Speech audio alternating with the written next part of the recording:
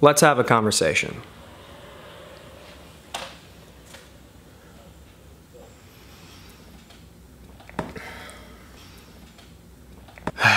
So this is this is a video that I have been not looking forward to making. It's a video that I've been honestly dreading to make. Um, it's not something I ever wanted to do. And I went back and forth a lot about whether or not I should, about whether or not it was a good idea.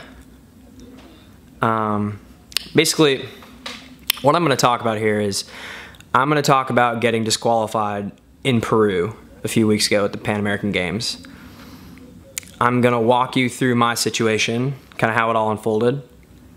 I'm going to discuss things that I've never really discussed publicly before, which is my history of being disqualified and how we move forward. I didn't want to make this because this has been really, really bothering me. Like it very much bothers me. Um, we're, we're gonna we're gonna get into that. For those of you who watched my vlog, um, you know that I swam the 100 breaststroke. I won a silver medal. Um, I talked about in my vlog how I wasn't happy with the time, but how I was just trying to enjoy the moment and and be happy for the experience, which I was, very much was. And then the mixed medley relay happened, and we got disqualified. So we swim the relay, we get out of the pool, we're celebrating. We knew we were gonna win the event, like, and we were really excited. We're like, we were really happy to win the event. Um, we get out of the pool, walk over, walk through the media zone, check in through doping control, um, get all our stuff, walk all the way back to the Team USA team area, put our our uh, our podium gear on, walk to the medal ready room, which is the room you sit in before you go on the medal stand. By that time, 20 minutes had passed since we'd finished the race and we're sitting in the medal ready room about to go up on the podium and no one from Team USA had been notified that we'd been disqualified, which was weird. And right when we heard, we were like, what? This is crazy. Um, they notified us like minutes before we walked out onto the podium. We run to the team area. As we're running to the team area, the team manager is running the other direction saying, I know, I know, we're gonna figure this out. All while the fourth place team had already been notified and their swimmers were standing outside the medal ready room area getting ready to get on the podium because they'd been notified we'd been disqualified. It wasn't until they were handing out medals like the other teams were on the podium and we're in the in the team room area. It wasn't until then that we were even told what the disqualification was for. Um, our head coach was never notified. He had to like run and and ask and find out then. Like there was no notification. Pro the, the whole process was weird. Okay. And when we're when we're told that we were disqualified for me doing multiple kicks off of the turn, to me it was like a you know in the movies when like a grenade goes off and you're in shell shock and everything's ringing? That's how i felt. It was like a shot to my gut. It was horrible. And in that moment i was like oh my god did i did i blow this? Did i screw this up? Did i mess up? And i was i was freaking out. I was basically on the verge of crying and we're sitting there and the head coach comes up a bunch with, with a bunch of other coaches and we sit down and we watch the video review with our high performance team and we only have over, overwater footage. They won't give us the underwater footage or they don't have underwater footage, I'm not sure. Why you don't have underwater footage at a meet like that, I don't know. But we watched the footage and I was assured by the head coach and by every other coach that I had done nothing wrong and that it was a BS call. And I still feel horrible in that moment. I feel terrible, but I'm being told by a number of US coaches. Mind you, only one coach on that staff is an Indiana coach who would be in my corner pretty much regardless, right? Who had in invested interest in me. None of those other coaches had any reason to back me. Yet that's what we were told. And when you watch the video you can't see anything. And I wasn't sure because I have a little bit of a checkered history. Over the course of my career, I've been disqualified a lot for for a lot of things, but I've been disqualified a lot. And there's a there's a good number of them where the disqualification was totally valid, and I own that, and I accept that. I'm like, yep, that's a that's a fair call. I, I got it. I accept that. There is also a number of disqualifications of mine where it was very questionable, and I will get into that in a minute.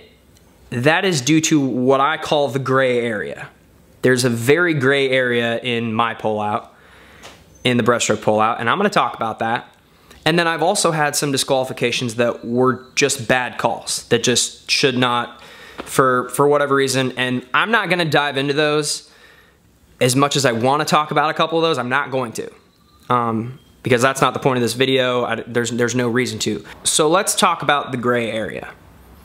Breaststroke is weird because it's the only stroke that really has this gray area, this questionable what is legal, what isn't legal. So right now, most high-level breaststrokers do the pullout pretty much the same way, what I call the, the modern day pullout. You push off the wall, you glide, you dolphin kick, level out, continue the glide, and then snap your arms down into an upward direction, and then you break out. You snap the dolphin kick, and then you glide. And at this moment, you're still moving in a parallel direction with the surface of the water. Then you snap your arms down. And that's where the gray area happens because oftentimes when you snap your arms down and shrug, there's a lift because you're carrying momentum in a parallel direction. And when you snap, that's when you start to surge upwards to break out of the water, right? When you do that, oftentimes there's turbulence, there's undulations, there's body movements. Sometimes your feet drop, things can happen. And it's the job of the official to distinguish, okay, what is actually a dolphin kick and what is just extra motion? What is just extra undulation? Those, those things happen. And there's a lot of gray area in breaststroke right now, and if people say that that's not the case, then they're just not paying attention, because it, it's out there. There's a lot of it, especially at high level swimming.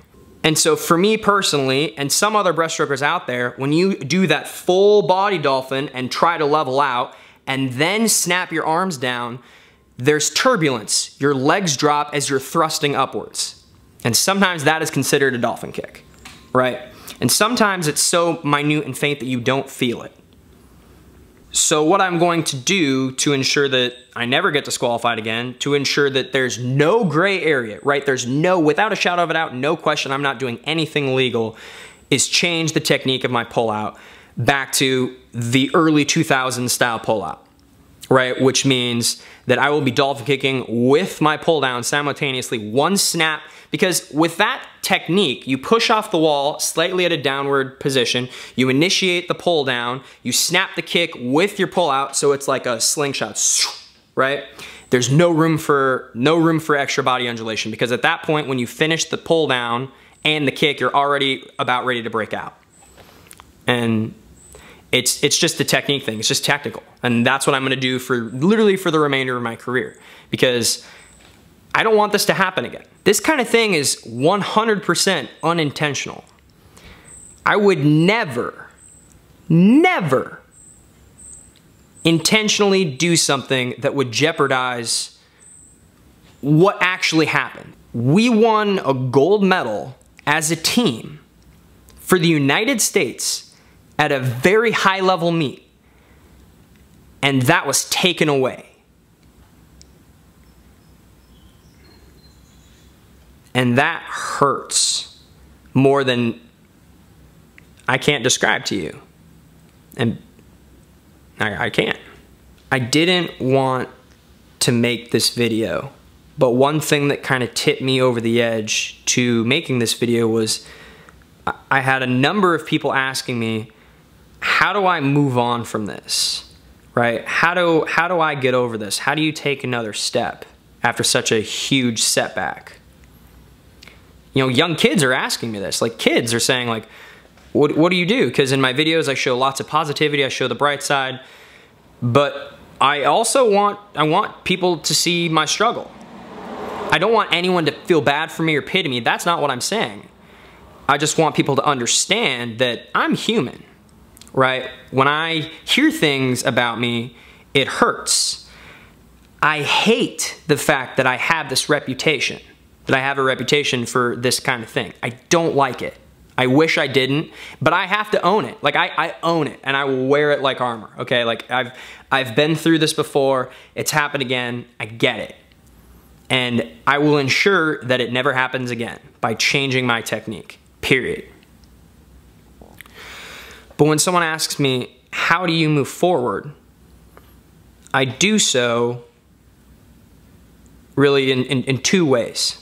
Number one, I unfortunately have experience in dealing with these sorts of things. And I don't even just mean getting disqualified. That's happened, sure, I've been through this before. But what I mean is, I have experience in dealing with horrific things.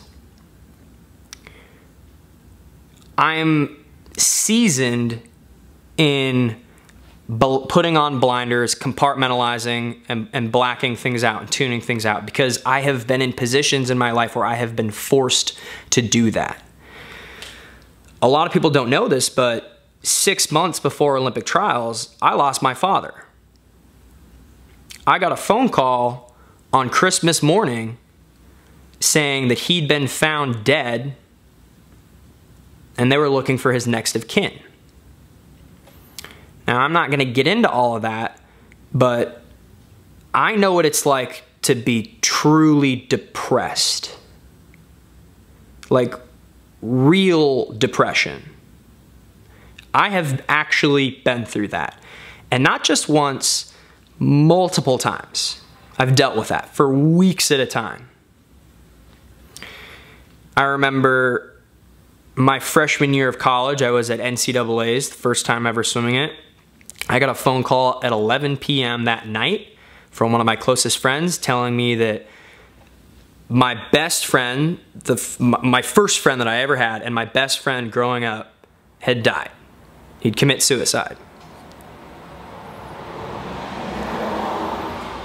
That hurt, and I had to swim through the meet after finding out about that. And then in 2012, just a couple weeks before Olympic trials in 2012, I got a phone call from another friend saying another one of my best friends had also commit suicide. That was terrible. And you know, growing up, um, my dad had serious drug and alcohol problems. Serious, serious problems. And I went through some pretty traumatic things right? I know what it's like to have zero dollars in my bank account in a very questionable future.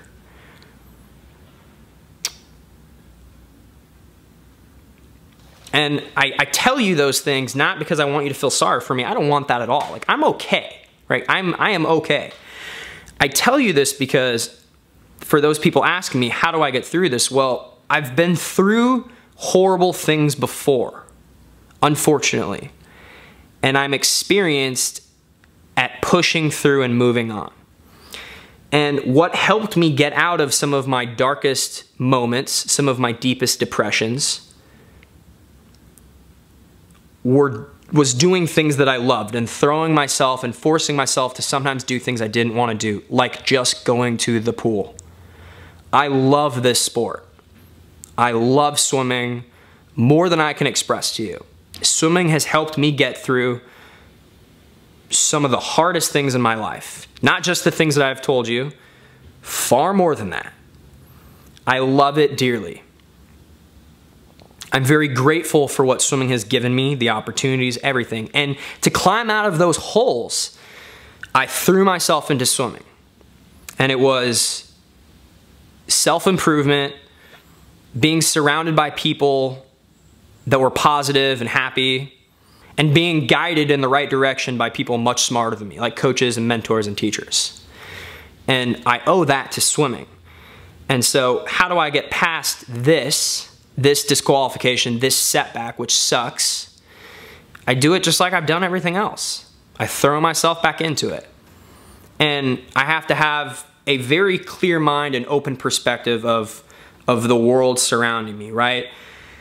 I'm very aware of what people say and things that have been written about me and all of those things. Mind you, I, I will point out, years ago, I stopped reading any articles that are ever written about me. I do not read those things. I certainly don't read comments that are written about me, particularly things outside of my YouTube channel. Now, I don't do that.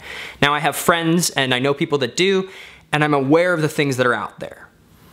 And for me, it's like, guys, I opened up my Twitter feed after this happened and I had thousands of people saying horrible things about me horrible, horrible, disgusting, mean, nasty things. And obviously I'm human, like reading those things hurts me. You know, reading those things, it hurts. You don't, you, you know, I, I wish that upon nobody. Like you don't want that. But after time, self-reflection and realizing like kind of what is important, I realized that like the people out there, the haters, the people that are attacking me, I feel sorry for you right? This is how over time, I realized those things don't matter. Like what people comment and what people say is totally irrelevant. The only thing that matters is, is the people who support me and the people that I care about and those opinions, and that's it, right? And so I ignore the rest of it. But I feel bad for people in today's age who are just spewing venom and hate and negativity and trying to bring other people down. Like, that sucks, because I feel like most of those people, like, they've never met me. And like, if we met up and hung out, like we would probably get along. And, and that's just, and that's how it is with almost everybody. Like, it's just kind of the world we live in right now. It's just, it's just kind of like that. And that's okay. Like, people have a right to say those things, even if they're horrible, right? Like, I don't know why you would ever do that. So, yeah. You know, I, I try very hard to make my YouTube channel overwhelmingly positive because I try to be overwhelmingly positive. And I will say that you know, the second half of Pan Am's, I was struggling.